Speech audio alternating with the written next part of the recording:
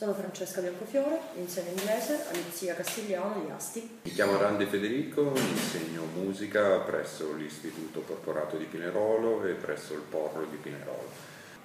Sono Monica De Marco, sono professoressa di fisica presso l'Istituto di Istruzione Superiore Bodoni. Con un centimetro di TAV, che sarebbero 1500 euro, come prima cosa mi viene da pensare a una discussione di base se la scuola è pubblica i finanziamenti devono essere pubblici. E nella mia scuola ho avuto modo di vedere che tantissimi ragazzi non possono pagare l'iscrizione da un anno all'altro,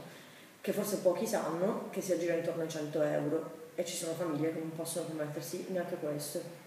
Con un centimetro di TAV che sono 1500 euro sicuramente avremo modo di comprare chitarre per l'aula di musica dell'istituto, saremo in grado di tenerle a disposizione per tutti i ragazzi e avremo per anni una dotazione di strumentazione eh, atta a far rientrare la musica dentro la scuola pubblica.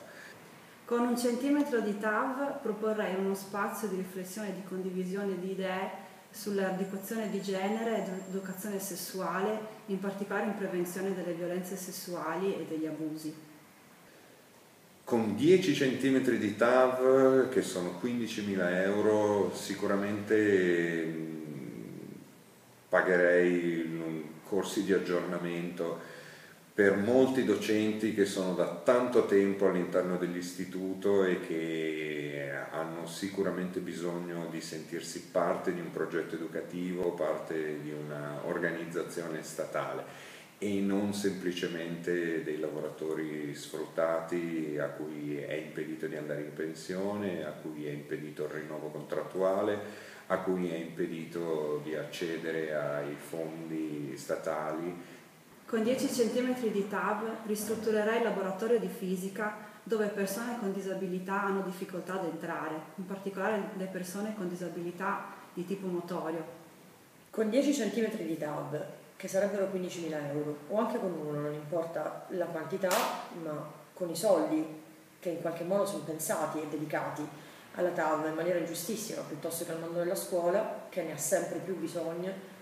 mi preoccuperei delle infrastrutture leggiamo molto spesso di situazioni in cui le scuole sono in un disuso incredibile da, in ogni ordine e grado, dalle elementari alle medie alle superiori e non si può assolutamente pensare che ragazzi che vanno a scuola per poter usufruire e poter godere di quella che è la loro istruzione possano essere in pericolo in qualsiasi forma, per una trave che cade, per un banco che cede, per qualsiasi cosa possa essere un pericolo e lo stesso vale per tutto il personale della scuola che in qualche maniera ci vive. Mi sembra decisamente più importante che questo sia dedicato a edifici pubblici e